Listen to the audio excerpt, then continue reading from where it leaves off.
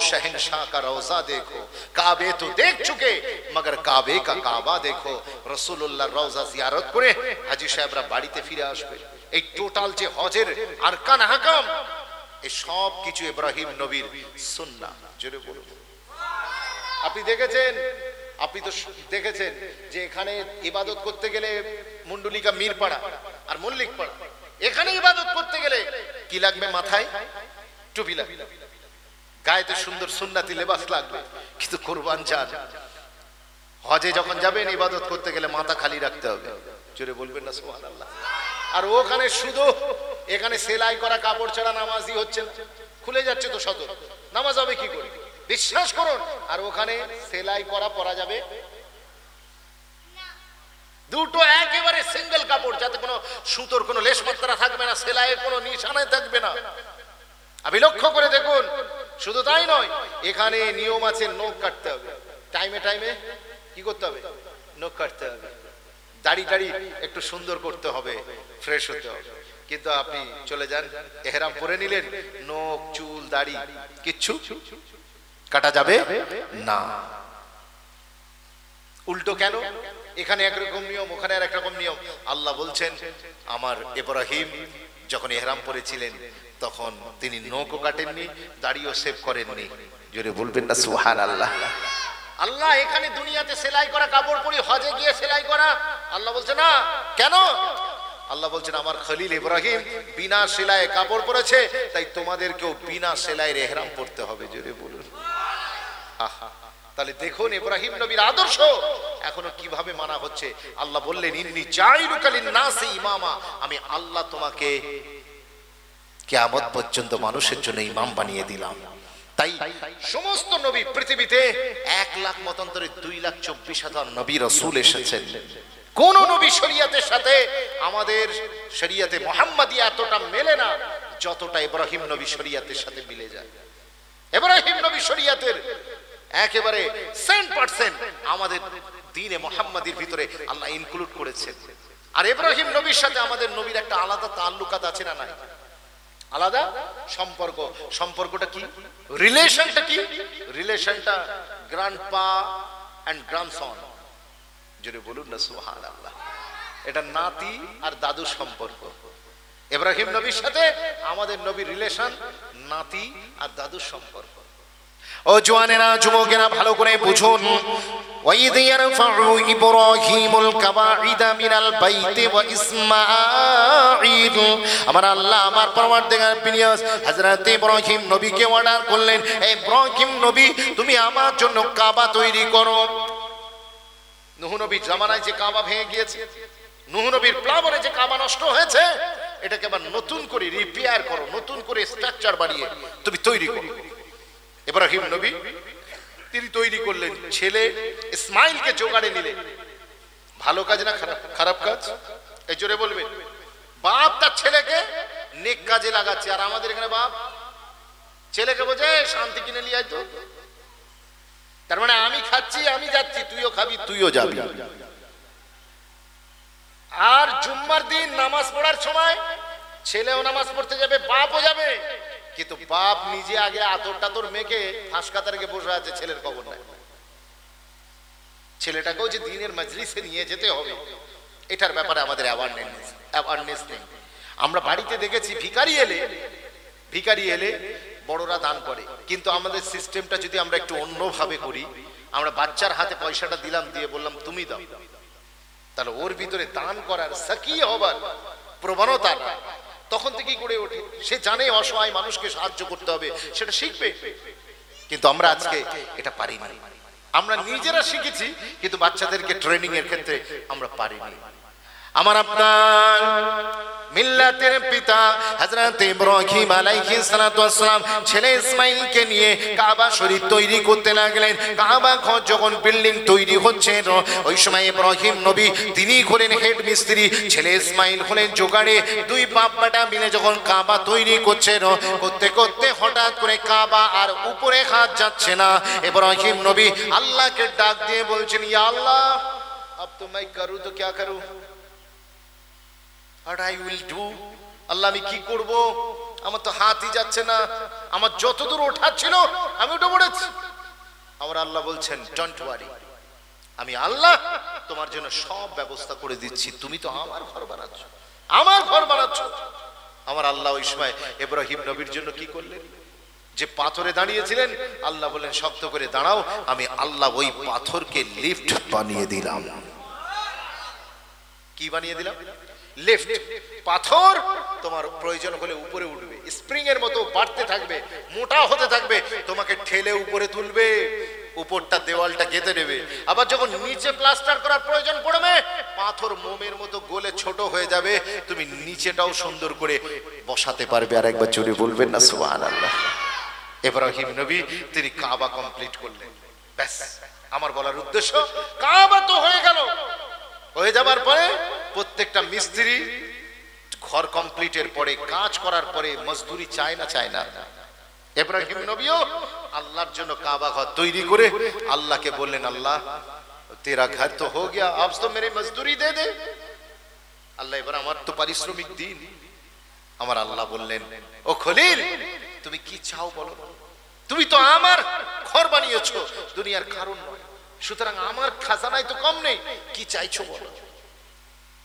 ওই সময় ইব্রাহিম নবী, তিনি জান্নাত চেয়েছিলেন, জান্নাতের হুরগেলমান চেয়েছিলেন, জান্নাতের বিল্ডিং বালাখানা চেয়েছিলেন। জি না না, ইব্রাহিম নবী কিচ্ছু চাইনি কোরআন সাক্ষ্য আছে, কোরআন বলছে কি জানেন? ইব্রাহিম নবী আল্লাহর দরবারে দুটো হাত তুললেন, পাশে ছোট্ট ছেলেটা আমিন আমিন আমিন। বাপের দোয়ার সাথেও সে আমিন বলতে লেগেছে। ইব্রাহিম নবী আল্লাহর দরবারে দুটো হাত তুলে বলেছিলেন, কি জানেন? রব্বানা ওয়া বা'স ফীহিম। رسولا منهم يتلو عليهم آياتك ويعلمهم الكتاب والحكمة ইব্রাহিম নবী আল্লাহ দরবারে দুটো হাত তুলে বললেন এ রব্বি আল্লাহ তু মুঝে কুছ দে ইয়া না দে কম আজ কম মুস্তাফা কা দাদা বানা দে একটু জোরে বলা যাবে না সুবহানাল্লাহ আল্লাহ আপনি আমাকে আপনার হাবিব মোহাম্মদুর রসুল্লাহ সাল্লাহ সাল্লামের দাদু বানিয়ে দিন। এই কাবা শরীফ বানিয়েছি, এর বিনিময় বদলা, এর জাজা আল্লাহ আমার কিচ্ছু চাই না। শুধু একটাই আপনার কাছে আবদার, আপনার নবীকে যখন পাঠাবেন, যে বংশেই পাঠান না কেন, আপনি আমার বংশেতে ওনাকে দুনিয়ায় পাঠাবেন, তাহলে উনি হবেন আমার নাতি, আমি হব ওনার দাদু। আল্লাহ আপনি নবী আখিরুজ্জামাকে আমার নাতি বানিয়ে আমাকে ওনার দাদু বানিয়ে দেন জুড়ে বলুন। ইব্রাহিম নবীর সাথে আমার নবী পাকের সম্পর্ক আছে না নাই?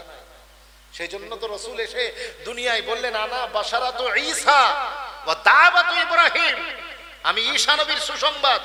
ঈশা নবী আমার ব্যাপারে খোঁজ খবরি দিয়ে গিয়েছেন, মুবাশশিরাম বিরাসূলি ইয়াতুই মিন বাদি ইসমুহু আহমদ। ঈশা নবী এসে বলেছিলেন, আমার পরে একজন আসছেন, তার নাম হবে আহমদ। সাল্লাল্লাহু আলাইহি ওয়াসাল্লাম।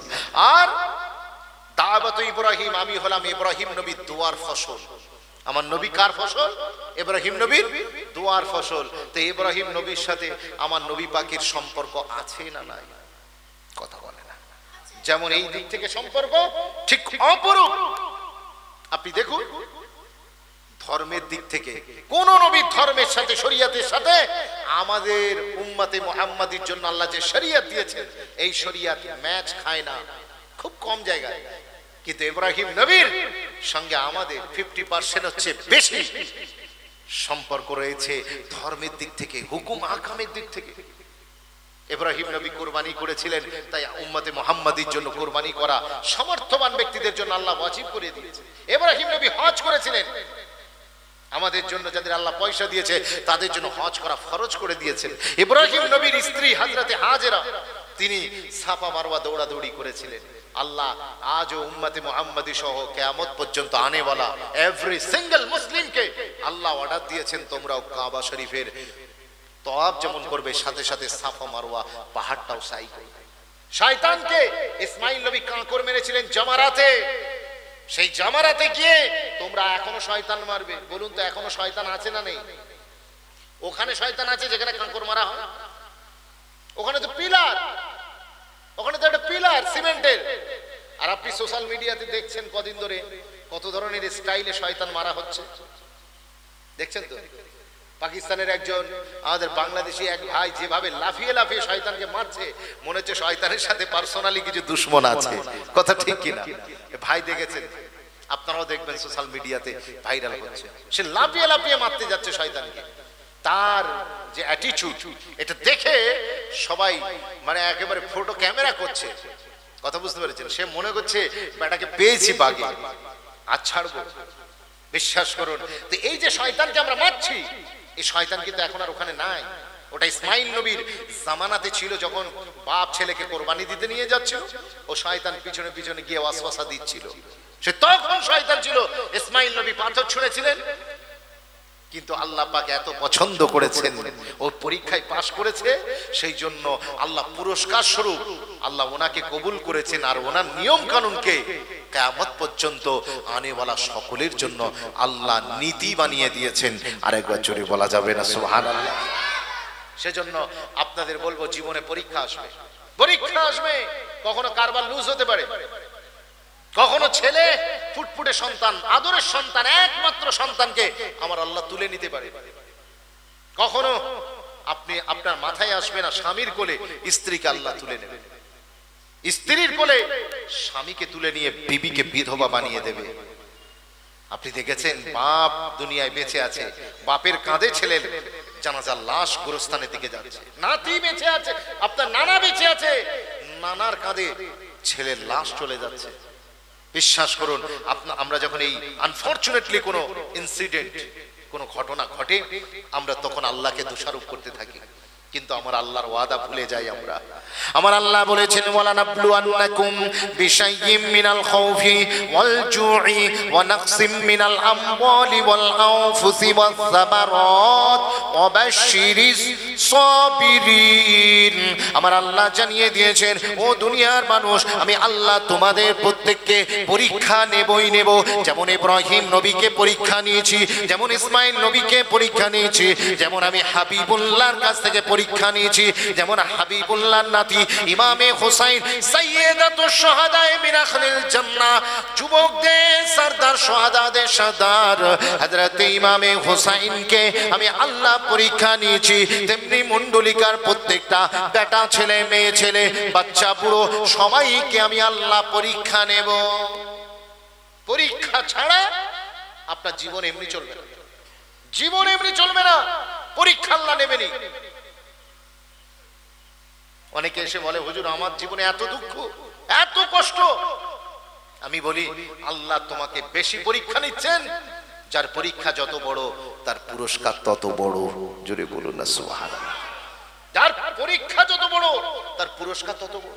আপনি জানেন, এই যে আমাদের ভিডিও আছে, ভিডিও ভিডিও তো আমরা সই করতে গিয়ে তার কাছ থেকে সাইন করে নিই।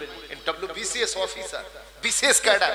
কিন্তু এই ভিডিও হতে গেলে, এই যেমন ভিডিও হওয়ার পরে লালবাতির একটা গাড়ি জুড়বে সেই সাথে পুলিশ প্রশাসন আপনার স্যালারি সিক্স ডিজিটের উপরে স্যালারি আপনি অবাক হয়ে যাবেন, আপনার জন্য গভর্নমেন্টের গাড়ি, আপনার জন্য মোবাইল ফোন ফ্রি আপনার জন্য থাকার রুম আলাদা ব্যাংলো ফ্রি সব কিছু আপনাকে দেবে। কিন্তু ওই জায়গায় পৌঁছাতে গেলে আপনাকে কত বড় কঠিন পরীক্ষা আপনাকে দিতে হবে। ওই প্রাইমারি স্কুলে চাকরি পাওয়ার মতো পরীক্ষা নয়। হাই স্কুলে চাকরি পাওয়ার মতো পরীক্ষা নয়। ভিডিওর পরীক্ষা ভিডিওর মতো হয়। কথা বুঝতে পেরেছেন? বিসিএস পরীক্ষা দিতে হয়।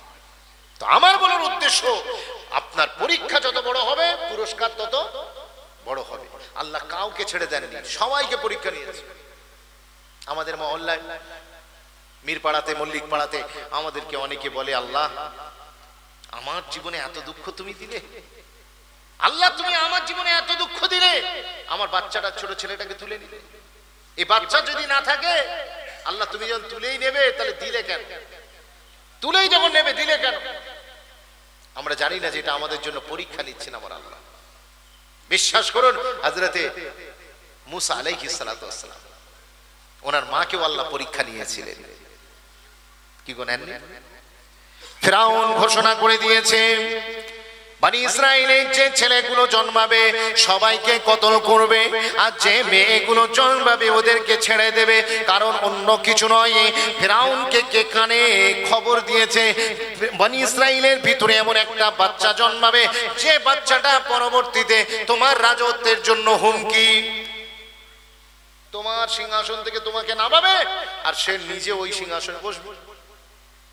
ফেরাউন বলল, তবে রে না থাকবে বাঁশ, না বাজবে বাসি আমি এমন সিস্টেম করব বানি ইসরায়েলের কোন বংশের পুরুষ সন্তান আর বেঁচে থাকবে না।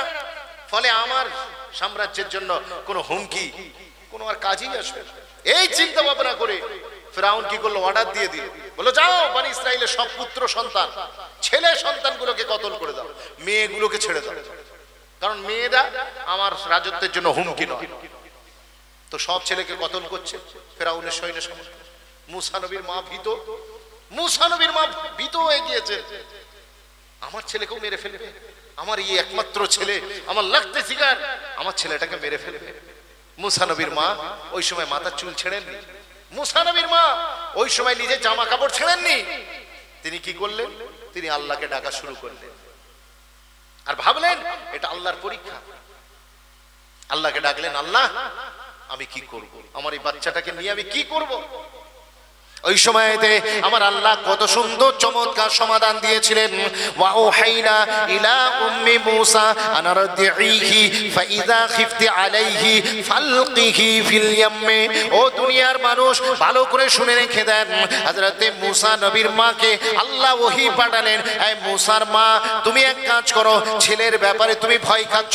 ফেরাউনের সৈন্য সামন্ত তোমার ছেলেকে শেষ করে দেবে। এটা যদি তুমি ভয় খাও, যতদিন তুমি ভয় খাবে না। ততদিন ছেলেকে দুধ পান করাতেই থাকো। দুধ পান করিয়ে যাও। কিন্তু যখন তুমি মনে করবে যে ওরা তোমার ছেলেকে ধরে নেবে, ছেলেকে মেরে ফেলবে, ওই সময়তে তোমার ছেলেকে একটা বাক্সের ভিতরে রাখবে। ওই বাক্সটা নিয়ে গিয়ে নীল দরিয়ায় তুমি ভাসিয়ে দেবে। আচ্ছা আপনি বলুন তো, আল্লাহ টেনশনের ফর্মুলা দিলেন না, সমাধান দিলেন? কোথায় সমাধান হলো এটা? এটা টেনশনের ফর্মুলা এ তো বাঘের ভয় কুমিরের মুখে ঠেলে দেওয়া। দুধের শিশু বাচ্চা কদিন হয়েছে যার জন্ম? তাকে আল্লাহ বলছেন, তুমি বাক্সবন্দি করবে, করে একে নীল দরিয়ায় ভাসিয়ে দেবে। আপনা আমরা দেখেছি যখন একটা মুরগি কয়েকটা ডিমে তা দিয়ে বাচ্চা ফোটায়, ওই বাচ্চাগুলোকে নিয়ে বেড়াতে বেরিয়েছে আপনাদের দোকান তলায় এমন সময়তে আপনি বা আমি দুজনে হেঁটে হেঁটে আসছি মসজিদ তলা থেকে। আপনি বলুন তো আপনাকে আসতে থেকে মা মোরগটা কি করবে? বাচ্চাগুলোকে বলবে, যা, ওর পায়ে স্যালুট কর। কি করবে? ও তখন নিজের ডানা দুটোকে বাড়িয়ে দেবে। বাড়িয়ে দিয়ে বাচ্চাগুলোকে ডানার ভিতরে লুকিয়ে রাখার চেষ্টা করবে, যাতে করে কেউ না আমার বাচ্চার এক পশমের ক্ষতি করতে পারে। মানুষ ভয় পেলে। মনে করুন, আচানক রাত্রেবেলা আপনি আপনার ওয়াইফ দুজনে শুয়ে আছেন। খোদা না খাস্তা, হাজার মার্তবা খোদা না খাস্তা। কোনোদিন এই ঘটনা না ঘটুক, আমি দোয়া করি। কিন্তু এমন কোনোদিন হলো, হঠাৎ করে আপনার বাড়িতে কোনো ডাকাতি পড়ে গিয়েছে। ডাকাতি পড়ে এখন আপনার দুধের শিশু বাচ্চা রয়েছে। মা জননী বাচ্চার পাশে নিয়ে শুয়ে আছে। হঠাৎ করে যেই চোর এসেছে, উনি ক্যাশ বাক্সের চাবি সামলাবে না বাচ্চাটাকে কোলে নিয়ে পালানোর চেষ্টা করবে কোনটা? কথা বলে না। ক্যাশের চাবিগুলোকে আগে খুঁজবে না এই দুধের শিশু বাচ্চাটাকে কোলে নিয়ে এই শত্রুর হাত থেকে বাঁচাবে, কোনটা তাড়াতাড়ি বলে। বাচ্চাকে বাঁচাবে? মা তার বাচ্চাকে এত মাহাব্বত করে, এত প্যার করে। দুনিয়াতে বৈজ্ঞানিকেরা আটলান্টিক মহাসাগরের নিচে কত গভীরতা, সেটা তারা মেপে ফেলেছে। কিন্তু মায়ের ভালোবাসার গভীরতা কতটুকুন, আজও পর্যন্ত কেউ আবিষ্কার করতে পারেনি। চলে বলবেন না মা সব কাবারা করবে। মা তার বাচ্চার জন্য পরের বাড়িতে থালা বাসনও মাজবে। মা তার বাচ্চার জন্য পরের বাড়িতে ঝিগিরির কাজ করবে। বিশ্বাস করুন, এ মা জীবনে দুবার কাঁদে। মা দুবার কাঁদে। একবার বাচ্চা যখন ছোটবেলায় ভাত খেতে চায় না, কিচ্ছু খেতে চায় যারা যে সমস্ত চাইল্ড স্পেশালিস্ট আছে, ওই সমস্ত ডক্টরদের সাথে আমার কথা হয়। আমি বলি ডক্টর বাবু আমার মায়েদের, বোনেদের কি অভিযোগ আপনার কাছে বেশি এসে? বলে একটাই অভিযোগ প্রত্যেকটা মায়ের। Every single mother complains me প্রত্যেকটা মাদার আমাকে অভিযোগ করে যে আমার বাচ্চা কিছু খায় না। অথচ ওজন মেশিনে দিলে দেখা যাবে তার বয়স যা দু বছরে যা ওজন হবার কথা, তার চেয়ে বেশি ওজন হয়ে আছে। তবুও বলছে আমার বাচ্চা কিছু খায় না। বাচ্চা না খেলে মা জীবনে একবার কাঁদে আর একবার কাঁদে। যখন বাচ্চা বড় হয়ে মাকে ভাত দেয় না, তখন মা আর একবার কাঁদে। এই মা বাচ্চাকে এত प्यार করে मोहब्बत করে फूल कभी दो बार नहीं खिलते जन्म कभी दो बार नहीं मिलते मिलने को तो हजारे लोग हजारों लोग मिल जाते हैं मगर हजारों गलतियां माफ करने वाले माँ फिर नहीं मिलते শত অন্যায় করবেন মায়ের আঁচলের নিচে এসে লুকাবেন আপনার গুণা মাফ হয়ে যাবে আপনার সব অপরাধ আপনার মা জননী মাফ করে দেবে সেই মা বাচ্চাকে হাতছাড়া করতে পারে আল্লাহ মুসা নবীর মাকে বললেন, ও মুসার মা, তোমার ভয় লাগছে। Are you worried about your child তাহলে তুমি আর চিন্তা করো না। তুমি তোমার বাচ্চাটাকে নিয়ে সরাসরি সমুদ্রে ফেলে দাও, বাক্সবন্দি করো। দুধের শিশু বাচ্চা কথা বলতে পারে না, সমুদ্রে ভাসিয়ে দিতে বলছে, যেখানে জোয়ার আর ভাটা, যেখানে উত্তাল তরঙ্গ, যেখানে ঢেউ আছড়ে পড়ছে, সেই সমুদ্রে নিজের বাচ্চাকে কোন মা পারবে? কিন্তু মুসানবীর মা তো মুসানবীরই মা। ওটা তো আমাদের মতো, আমাদের মায়েদের মতো মা নয়। মুসানবীর মা মুসানবীর মা ছিলেন। তিনি কি করলেন? তিনি বললেন তিনি বললেন, আল্লাহ আমার বিশ্বাস দুনিয়ার কারোর উপরে নয়, আমার বিশ্বাস আপনার উপরে। জোরে বলুন না, সুবহানাল্লাহ। এ নাও জওয়ান তরুণেরা, কোরআনে কারীমের ভিতরে এসে মুসা আলাইহিস সালাতু ওয়াস সালামের মা বাচ্চাটাকে বাক্সবন্দি করলেন, করে নীল দরিয়ায় ভাসিয়ে দিলেন। দেবার পরেতে ও দরিয়ায় বাক্স ভাসছে। মা জননীর বিশ্বাস দেখুন, আল্লাহর উপরে তাওয়াক্কুল দেখুন। এখন মুসা নবীর মায়ের জীবনে বড় বিপদ, কিন্তু তিনি বিশ্বাস করেছিলেন কার উপরে? ভরসা করেছিলেন কার উপরে? আল্লাহর দেখেছেন, আল্লাহর উপরে ভরসা করলে আল্লাহ কেমন রাস্তা খুলে দেয়? আল্লাহ কোরআনে নিজেই বলেছেন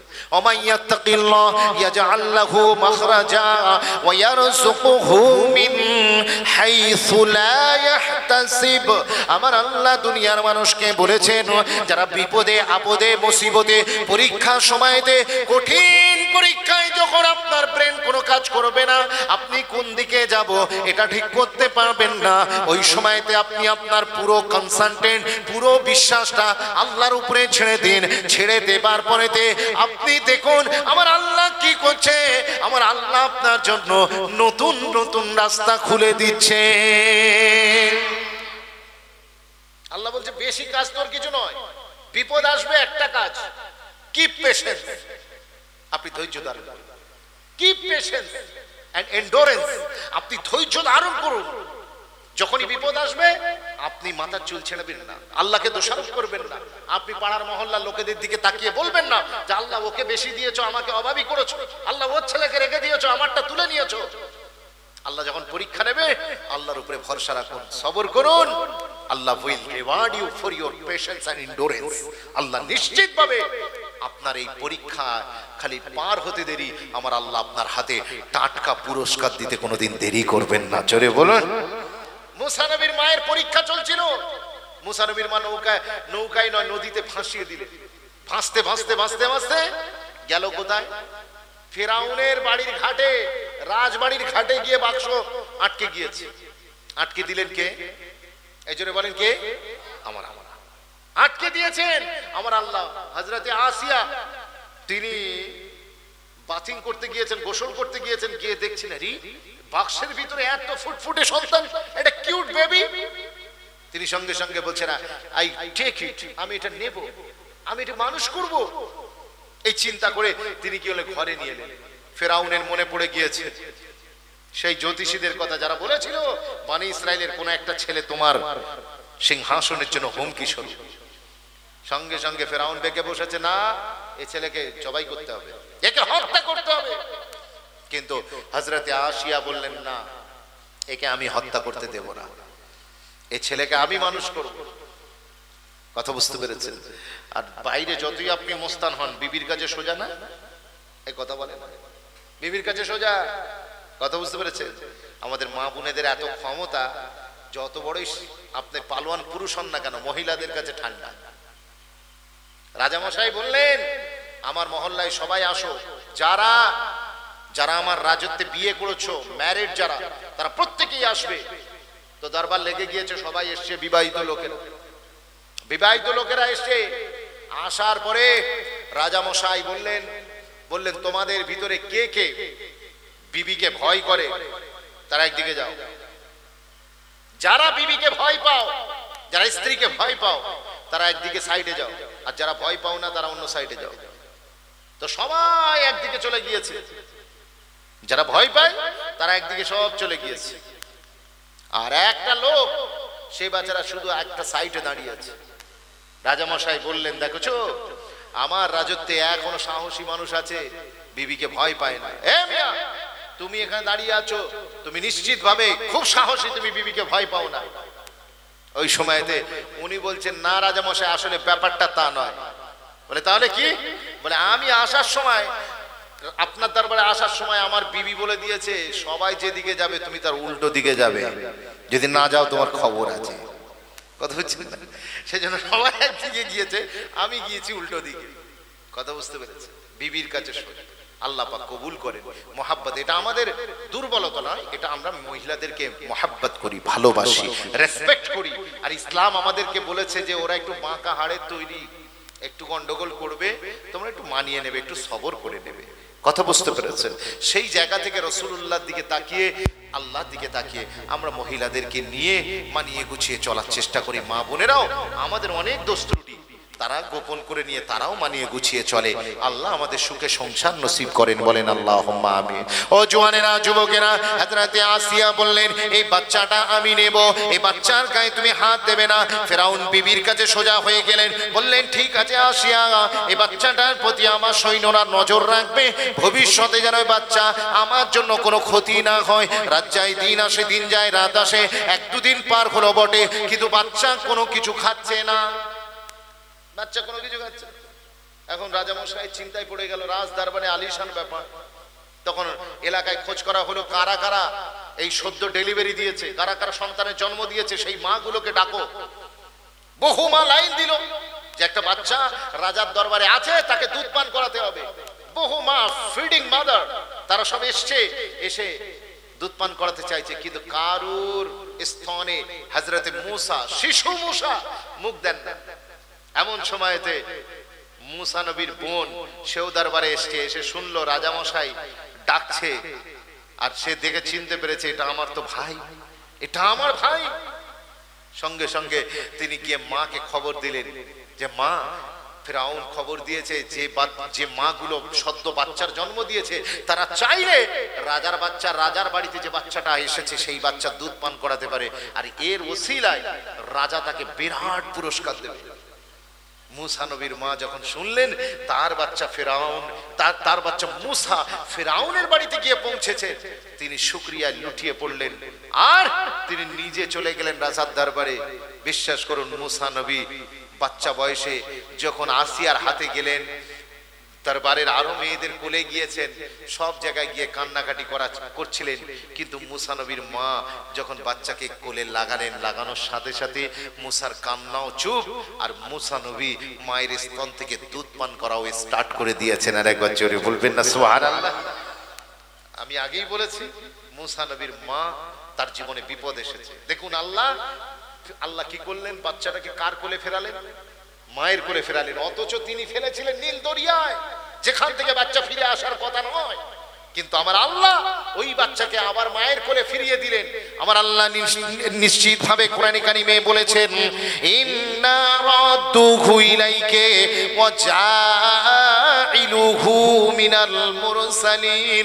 ও তুমি টেনশন করবে না নেবে না। এখন তোমার কাছ থেকে বাচ্চাটা আমি কেড়ে নিচ্ছি কিছু সময়ের জন্য। এর ভিতরে আমার একটা পরিকল্পনা আছে, আমার একটা একটা নির্দিষ্ট পরিকল্পনা আছে। তুমি যখন ভয় পাবে বাচ্চাকে তখন সমুদ্রে ফেলে দেবে।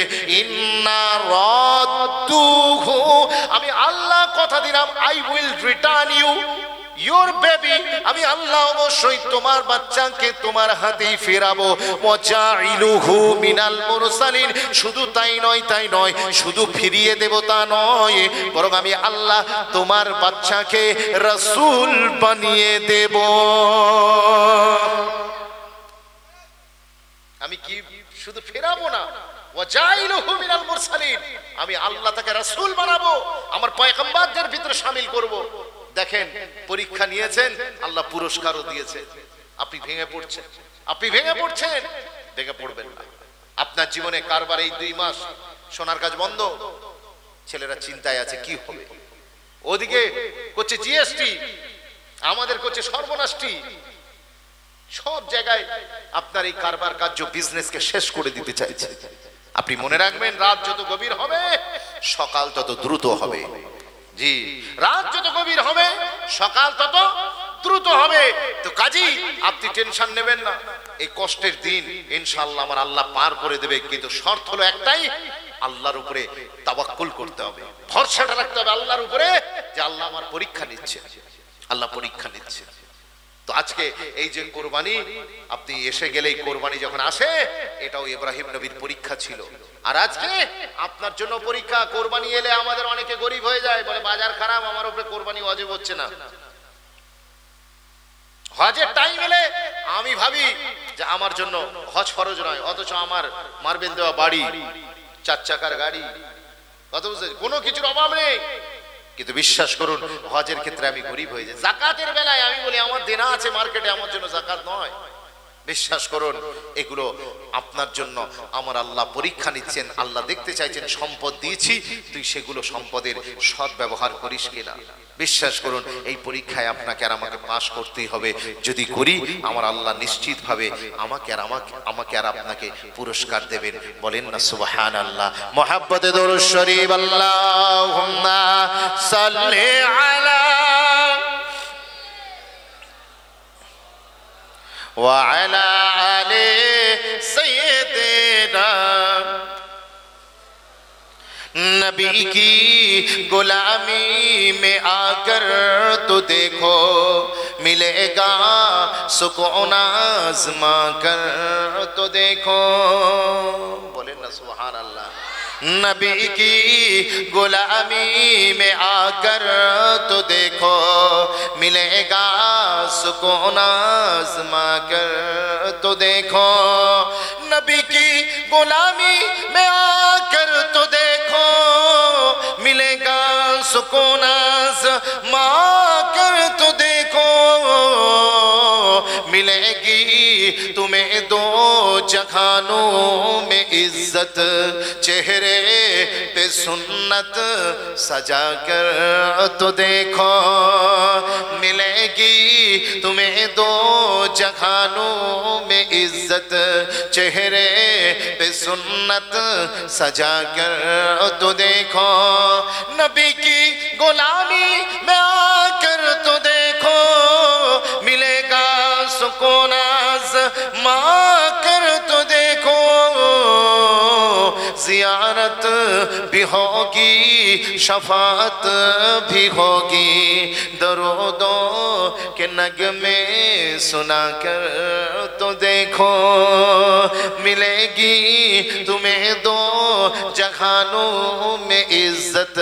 چہرے پہ سنت سجا کر تو دیکھو، نبی کی গোলামি মে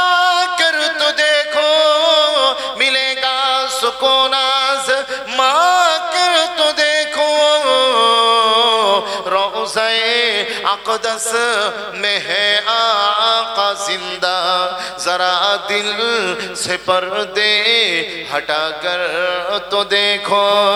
روزہ اقدس میں ہے آقا زندہ۔ ذرا دل سے پردے ہٹا کر تو دیکھو۔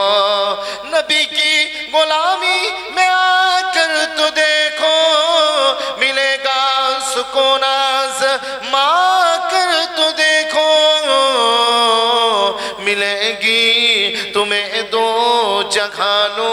میں عزت، چہرے دے سنت، سجا کر تو دیکھو۔ اللہم صلی علی وعلا آلِ سیدنا۔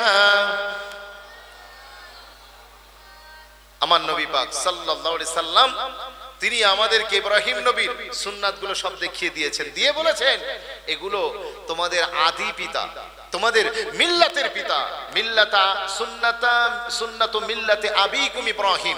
এটা তোমাদের মিল্লাতের পিতা ইব্রাহিম নবীর সুন্নাহ আমরা ইব্রাহিম নবীর সুন্নাও পালন করি আর আমাদের নবী হাবিবুল্লাহর সুন্নাটাও পালন করি। জোরে বলুন না, সুবহানাল্লাহ। বিশ্ব নবী সরকারে দো আলমে যে কুরবানি, এটা একটা পরীক্ষা আপনার আমার জন্য। এটা আপনার, আমার জন্য পরীক্ষা। আপনার জন্য, এই যে হজে, আপনি যাবেন কি যাবেন না, এটা আপনার জন্য পরীক্ষা। এই পরীক্ষায় পাশ করতে গেলে আপনাকে কনসান্ট্রেট করতে হবে আপনার রবের ভালোবাসার দিকে, রসুলের ভালোবাসার দিকে, তবেই আপনি যেতে পারবেন। বহু কোটিপতি আছে বিলিয়ন বিলিয়ন আছে। এনারা পয়সার অভাব নেই, কিন্তু এরা হজে যেতে পারে না। এরা কোরবানি দিতে পারে না, কিন্তু গরিব মানুষ, জিগার আছে। আমার নবী পাক প্রতি বছর দুটো করে কোরবানি দিতেন। জোরে বলুন। হুজুরের উপরে কোনোদিন জাকাত ফরজ হয়েছে? আমার নবী পাকের উপরে এত অ্যাসেট ছিল না যে হুজুরের উপরে কোনোদিন জাকাত ফরজ হবে কিন্তু আমার নবী হার সাল দুটো করে কোরবানি দিতেন, দুটো করে জন্তু কোরবানি দিতেন। সাহাবারা জিজ্ঞেস করলেন, হুজুর, আপনি দুটো কেন করেন? বলে, একটা হচ্ছে আন নাফসি, আর একটা আন উম্মতি। যদি বলবেন না, সুবহানাল্লাহ। একটা আমার নিজের তরফ থেকে আর একটা আমার গোনাগার উম্মাতের তরফ থেকে জোরে বলুন না, সুবহানাল্লাহ। তাহলে কোরবানি কত বড় ইবাদত? আপনি পয়সা খরচা হয়ে যাবে বলে কোরবানি দিচ্ছেন না। বিশ্বাস করুন, এই জিলহাজ মাসে এক থেকে দশ তারিখ, আপনার দশ থেকে নিয়ে তেরো তারিখ পর্যন্ত, এই তিন দিন সরি বারো তারিখ পর্যন্ত, দশ থেকে বারো তারিখ পর্যন্ত, এই তিন দিন আল্লাহর কাছে সবচেয়ে বড় ইবাদত, সবচেয়ে বড় নেক আমাল, সবচেয়ে শ্রেষ্ঠ আমল, সেটা হচ্ছে কোরবানি করা। সেটা হচ্ছে কোরবানি করা, রক্ত প্রবাহিত করা। আপনি নামাজও পড়েন এই তিন দিন, ঈদের দিন নামাজ পড়েন না। তেলাওয়াত করে অনেকে ফজর থেকে নিয়ে কোরবানি না হওয়া পর্যন্ত রোজাও রাখেন। এই এত কিছু আমল করার পরেও আল্লাহ বলছেন, এই তিন দিনের তিন দিনের সবচেয়ে টপ আমল হলো আমার রাস্তায় কোরবানি করা। আমাদের অনেক লোক, তারা এই কোরবানির ব্যাপারে গুরুত্বই দেয় না। কোরবানি এলে গরিব হয়ে যায়। গরিব হয়ে যায়, খবরদার নয়। খবরদার নয়। বিশ্বাস করুন, যদি কোনো লোকের উপরে আপনি রেগে থাকেন, যদি কোনো লোকের উপরে আপনি রেগে থাকেন, তাকে কি বলবেন?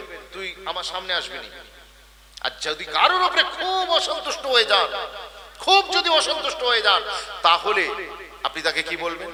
তাকে বলবেন, তুই আমার ভিটাই পা দিবি না। বিশ্বনবী সরকারে দোয়ালাম বলেছেন, আমার উম্মাতের ভিতরে যাদের কোরবানি দেওয়ার সামর্থ্য রয়েছে, অথচ তারা কোরবানি দিল না, তারা যেন আমার ঈদ ঈদগায় না পা দেয়। কত বড় কথা। কত বড় কথা। সুতরাং আপনি ছাড়বেন না। যদি ওয়াজিব হয়ে যায়, অবশ্যই করবেন। আর যদি ওয়াজিব নাও হয়, তবুও চেষ্টা করবেন একটা নফল কোরবানিও আপনার তরফ থেকে দেওয়ার।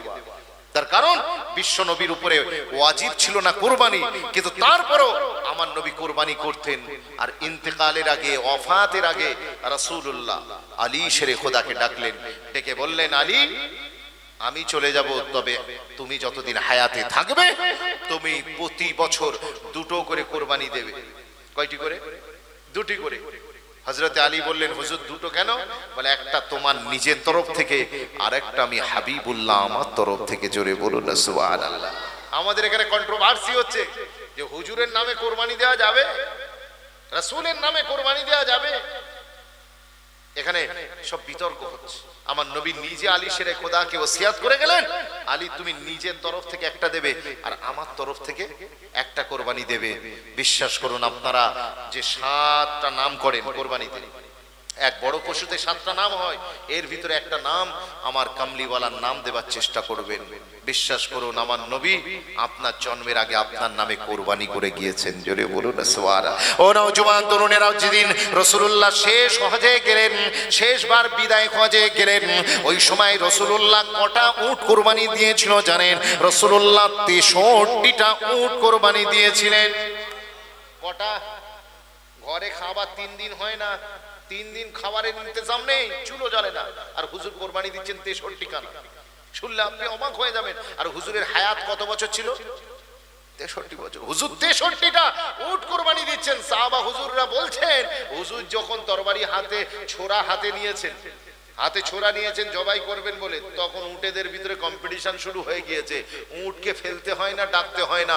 এক একজন পরপর লাইন দিয়ে আসছে, এসে হুজুরের সামনে স্যার ঝুঁকিয়ে দিচ্ছে আর বলছে, মুস্তাফা, আপনি আমাকে কোরবানি করুন, আপনার হাতে জবা জবা হতে পারলে আমার জীবন ধন্য হয়ে যাবে। জোরে বলুন না সুহার আল্লাহ উটেরা নিজেদের ভিতরে ঠেলাঠেলি করছে, কে আগে এসে রসুল্লাহর হাতে কোরবানি হবে।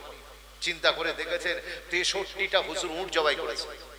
তেষট্টি ওই জন্য বেশি বেশি চেষ্টা করবেন কোরবানিতে পার্টিসিপেট করবেন। আর মনে রাখবেন, এই কোরবানি দিলে, আল্লাহর রাস্তায় দিলে, আল্লাহ অবশ্যই আপনাকে এমন দেবে, আপনি শেষ করতে পারবেন না। শেষ করতে পারবেন না। এখানে তো পাবেনই পাবেন। আর আপনি ওখানে গেলে? ওখানে গেলে কেউ যদি সফর করে, ছেলেরা আমদাবাদ, সুরাট, মিরাট, গুজরাট সব আমাদের আদার্স স্টেটে থাকে এই ছেলেদের যখন সফর করে, দুটো জিনিসের দরকার। একটা হচ্ছে রাস্তা খরচ, আর একটা হচ্ছে যাতে করে সফর করবে সেই সাবারিটা দরকার। এই দুটো জিনিস যদি মুসাফির পেয়ে যায় না, তাহলে তারা কোনো টেনশন নেই। কারণ পয়সা যদি রাহা খরচ ঠিক থাকে, ও খিদে পাবে, খাবে। আর যে গাড়িতে যাবে সাবারি যদি ঠিকঠাক হয়, তাহলে কোনো চিন্তা নেই। আমার আপনার নবী রাহাবাতুল বলেছেন, কিয়ামতের দিন যখন হবে, ওই কিয়ামতের সফরটা বড় কঠিন সফর হবে, বড় মুসিবতের সফর হবে। ওই সফরে বান্দা যখন যাবে, ওই সময়তে কি হবে? তার দুটো জিনিসের প্রয়োজন পড়বে। একটা রাহা খরচ আর একটা হলো সাওয়ারি। ও আমার উম্মতেরা, তোমরা যারা ঈদুল ফিতরের সময়, যারা সাদাকাতুল ফিতর আদায় করো, কিয়ামতের দিন আমার আল্লাহ তোমাদের ওই কঠিন সফরের দিনে তোমাদের হাতে সাদাকাতুল ফিতরটা তোমাদের জন্য হাত খরচা হিসেবে দেবে। আর কোরবানির ঈদে যে জন্তুটাকে জবাই করো, ওটা তোমাদের সাওয়ারি হয়ে যাবে। তাহলে আপনার চিন্তা কিসে আপনার রাহা খরচ হয়ে গেল, আর আপনার সাবারিও হয়ে গেল। আখেরাতের ওই কঠিন মঞ্জাল পার হওয়ার জন্য আপনার চিন্তা কিসের? টেনশন কিসের? সুতরাং এই কোরবানিটাকে মিস করবেন না। চেষ্টা করবেন, এখন থেকে নিয়ত করুন, এবছর পারেননি, আগামী বছর ইনশাআল্লাহ দেব। আর যদি এটা শয়তান ওয়াসওয়াসা দিবে, তোর কাছে বেশি পয়সা নেই। তুই দিসনি কারবারে লাগা, তুই অমুক কর, একটা গহনা করে দে, একটা পোশাক কর পোশাক কেন আপনার একটা দোকান লাগা, অনেক রকম শয়তান ওয়াসওয়াসা দেবে, বলবে তুই গরিব হয়ে যাবি, ভিখারি হয়ে যাবি, অনেক রকম ওয়াসওয়াসা দেবে। কিন্তু মনে রাখবেন এটা আল্লাহর পরীক্ষা। আপনাকে মনে রাখতে হবে, এই পরীক্ষায় আপনাকে পাশ করতেই হবে। যেভাবে ইব্রাহিম নবী পাশ করেছিলেন। আর মনে রাখবেন, আমার নবী পাক যে তরিকা শিখিয়ে গিয়েছেন। নিজের উপরে ওয়াজিব নয়, কিন্তু এভরি সিঙ্গেল ইয়ার আমার রসুল্লাহ স্যাক্রিফাইস করেছেন। আল্লাহর রাস্তায়। সুতরাং আপনাকেও আল্লাহর রাস্তায় এই স্যাক্রিফাইস এটা করতে হবে মনে রাখবেন। সেজন্য আমি সকলকে অনুরোধ করব, আমার রসুলের পাকের দেখানো পথে কোরবানি হবে। আমার রসুল্লাহ দেখানো পথে হজ হবে। যাদের উপরে হজ ফরজ হয়ে গিয়েছে, জিলহাজ মাসের ওয়াজ, একদিকে হজ আর একদিকে কোরবানি। এই দুটোর উপরে কিছু কিছু আলোচনা করে যাচ্ছে, অসুবিধা হচ্ছে না তো? এই জিলহাজ মাস বড় গুরুত্বপূর্ণ মাস। সারা বছরের ভিতরে রামাজানুল মোবারকের পরে এই মাসটাকে একটা আলাদা আহমিয়া দেওয়া হয়। কারণ এই মাসে এমন কিছু ঘটনা ঘটে যেটা অন্য কোনো মাসে আর ঘটে না। এই মাসে হজ হয়, এই মাসে কোরবানি হয়, এই মাসে রোজা হয়, অনেক কিছু হয়। কাজেই এটা একটা গুরুত্বপূর্ণ মাস। আমাদের যাদের হাজের সমর্থ আছে, দেরি করবেন। দেরি করবেন না, চলে যান। চলে যান। হজ করে আসুন। অনেকে নামাজ পড়ে না, আল্লাহ পয়সা দিয়েছে। মনে করছে আমি তো এখনও নামাজ ধরতে পারিনি। হজে গিয়ে কি করব? আমি বলি, আপনি বেরিয়ে পড়ুন।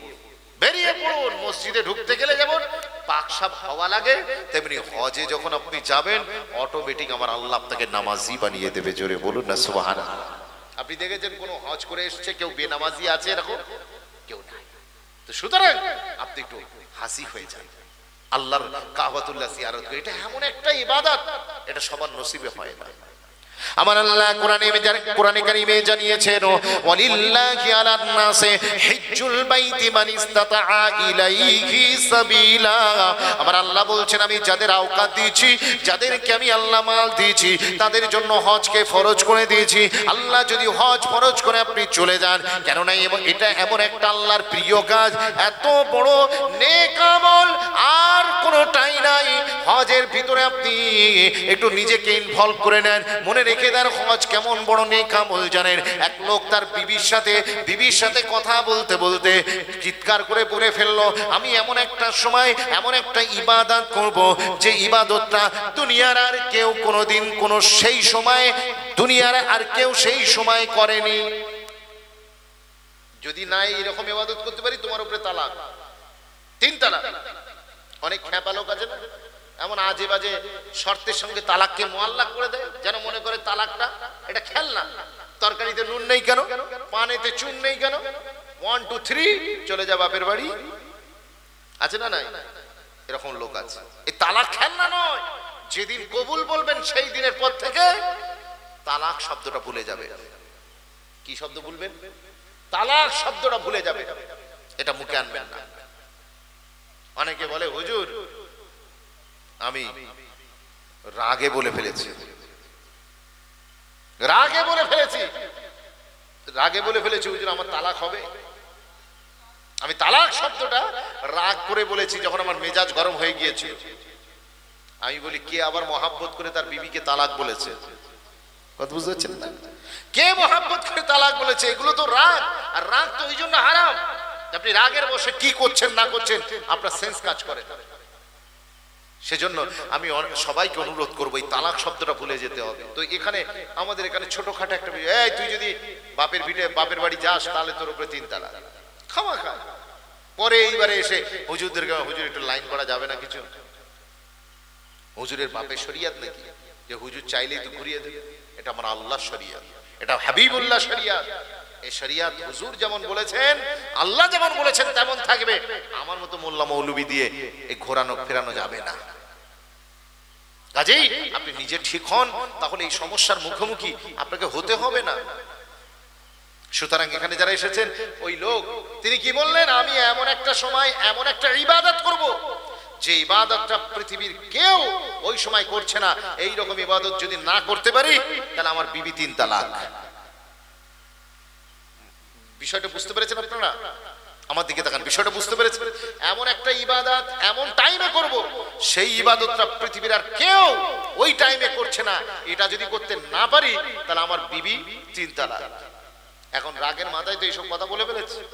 বলার পরে এইবার মলি সাহেবদের কাছে ছুটছে, হুজুরদের কাছে ছুটছে। সবাই বলেছেন না, এরকম কোনো ইবাদত তো জানা নেই। তুমি নামাজ পড়বে? নামাজ পড়বে, ওই সময় পৃথিবীর কেউ না কেউ নামাজ পড়ছে না পড়ছে না। কথা বলে না এখানকার লোকেরা। সেই সময় পড়ছে না হুজুর আসছেন নারাই থেকে বীর এই সকলে উঠে দাঁড়ান। ভাইজান হুজুর কেবলা, ভাইজান হুজুর কেবলা। আউলাদে মুসাদ্দিদুস জামান আউলাদে মুসাদ্দিদুস